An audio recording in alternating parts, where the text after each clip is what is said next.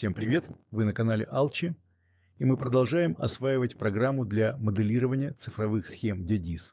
Сегодня в центре нашего внимания будут такие компоненты, как атенюатор, сумматор и аналогоцифровой преобразователь. А соберем мы из них и изучим на практическом примере настоящий цифровой фильтр первого порядка. Для начала давайте разберемся, что же такое цифровой фильтр первого порядка – если говорить просто, то это алгоритм, который обрабатывает цифровой сигнал, например, звук. Его называют фильтром первого порядка, потому что для расчета нового значения выходного сигнала он использует только одно предыдущее значение, как вы видите на слайде.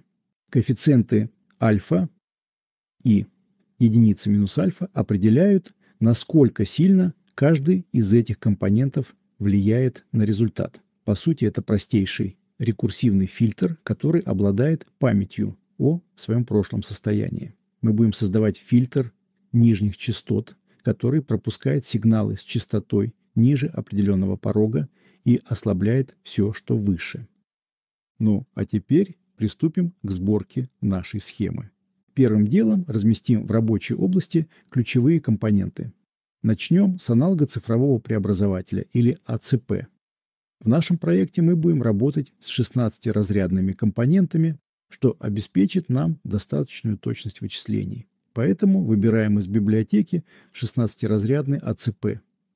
Следом за ним нам понадобится и 16-разрядный цифроаналоговый преобразователь, или ЦАП.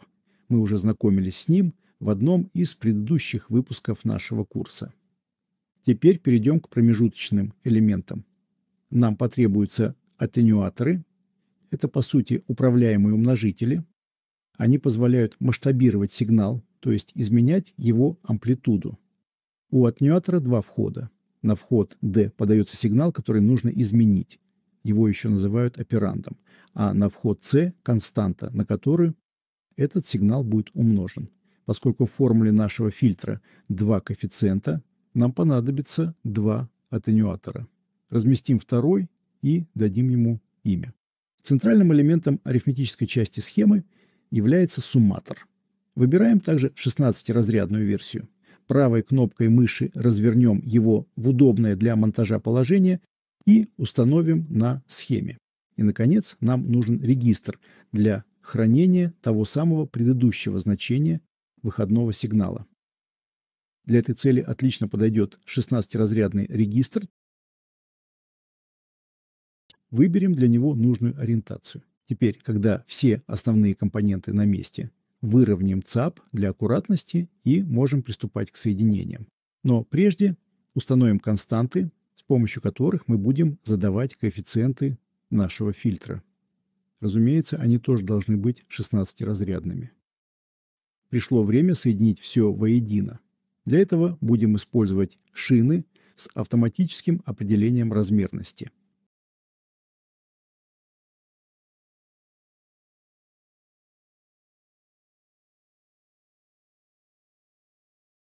Отлично. Структура обработки данных готова. Для полного контроля над процессом добавим два светодиодных индикатора на выходы сумматора. Один будет показывать переполнение, overflow, а второй – сигнал переноса, carry out. Загорание индикатора переполнения будет говорить нам о неверном режиме работы и ошибках в вычислениях. А вот сигнал переноса в нашей конкретной схеме – это нормальное рабочее явление. Поскольку Наша схема синхронная, ей необходим тактовый генератор или клок. Сразу же сделаем разводку тактового сигнала ко всем компонентам, которые этого требуют – АЦП, ЦАП и регистру. Также нам понадобится сигнал сброса, ресет. Он нужен для того, чтобы в самый первый момент времени все синхронные устройства АЦП, ЦАП и регистр установились в начальное нулевое состояние. Да, и не забудем подать тактовый сигнал на аналого-цифровой преобразователь. Почти готово. Остались последние штрихи. Нужно подать логический ноль на вход переноса си нашего сумматора, а также логическую единицу на вход разрешения работы enable нашего регистра. Все, схема полностью собрана. Чтобы ее запустить, нам осталось определить значение наших констант. Давайте подробно рассмотрим, как их можно рассчитать.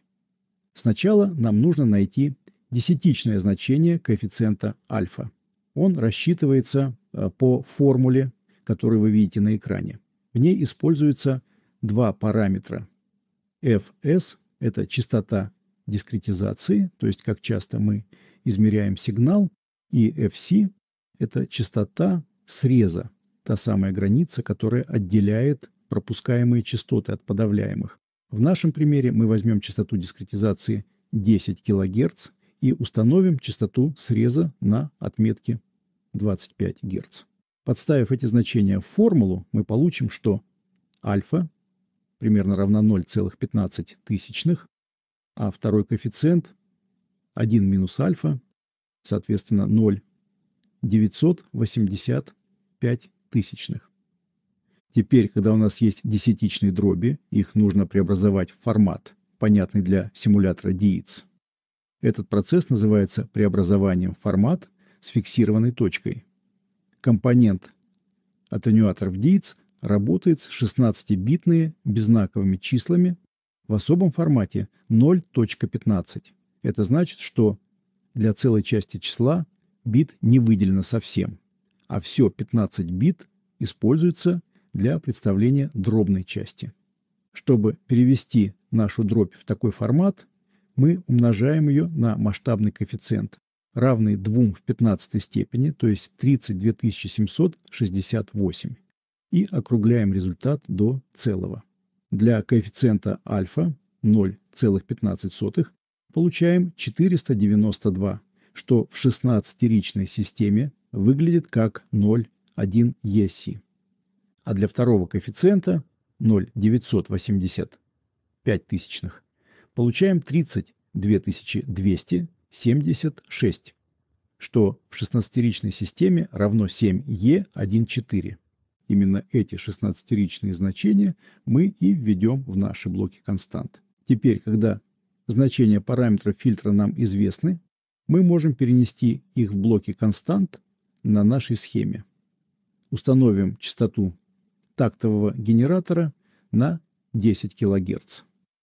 Запускаем симуляцию. Предварительно DITS попросит сохранить проект. И вот мы можем наблюдать за работой нашего фильтра. Мы видим, как АЦП генерирует синусоиду, и эта же форма повторяется на выходе ЦАП. Давайте немного доработаем схему для большей наглядности. Подключим индикаторы шин данных прямо на выход АЦП и на вход ЦАП. Назовем их input и output. Теперь мы можем в реальном времени видеть, как меняются биты входного и выходного сигналов. Заглянем в настройки АЦП. Мы можем изменить частоту генерируемого сигнала. Обратите внимание на параметр сэмплов на период. Изначально стояло 1000, что довольно много. Давайте увеличим частоту сигнала в 10 раз, и теперь на один период синусоиды будет приходиться 100 отсчетов. Мы сразу же видим эти изменения на встроенном осциллографе. Присмотритесь, у нас постоянно мигает индикатор переноса. Это происходит в те моменты, когда входной сигнал становится отрицательным.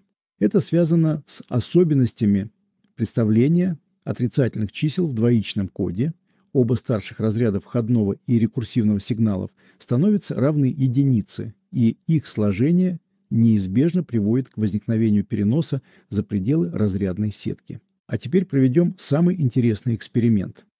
Давайте добавим к нашему чистому сигналу шум и немного уменьшим амплитуду, чтобы избежать искажений из-за ограничений. Посмотрим, насколько эффективно наш фильтр справится с задачей подавления шума Напомню, мы рассчитали его на частоту среза 25 Гц. Сохраняем изменения и наблюдаем. Теперь на входе мы видим сигнал, сильно искаженный шумом. Вот мы вывели его на осциллограф. А теперь включим осциллограф для выходного сигнала. Разница очевидна. Выходной сигнал стал несравнимо чище. Мы практически не видим на нем шумовой составляющей, хотя на входе амплитуда шума составляла целых 20% от амплитуды самого сигнала. Легкое дрожание курсора на выходном осциллографе все же выдает остатки шума, но тем не менее мы можем с уверенностью сказать, наш фильтр отлично справляется со своей задачей. На этом наш выпуск подошел к концу. Если вам понравилось это видео, ставьте лайк и подписывайтесь на наш канал. Этим вы поможете нам в распространении полезных знаний. Вы были на канале Алчи. До новых встреч!